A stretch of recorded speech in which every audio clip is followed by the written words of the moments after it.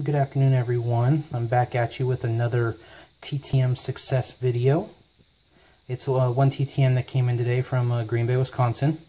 as you can see on the envelope, it's a 2 of 2 success. Took 24 days. And I was really excited to get this. So let's see what we got. So as you can see, we got two signed cards from Gary Varsho of the Chicago Cubs.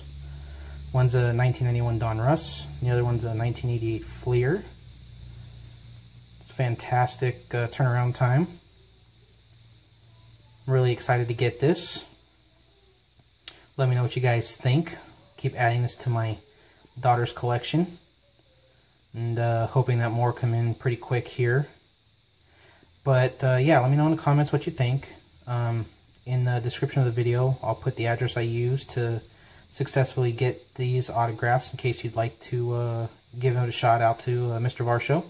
I'd like to thank Mr. Varsho for signing them. You didn't have to, of course, but I do appreciate it. I hope you all have a fantastic evening. Please uh, like my video.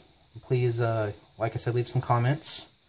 Uh, give me a thumbs up if you'd like, and as always, I ask that you uh, click the notification bell so you know that new videos are coming.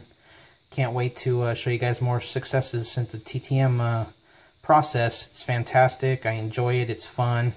Makes me feel like a little kid, but uh, you'd be surprised at how many uh, how many uh, athletes will, will sign cards or or balls or anything else you send them in the mail for, for nothing. So anyways, guys, have a fantastic evening. Talk to you soon. Bye.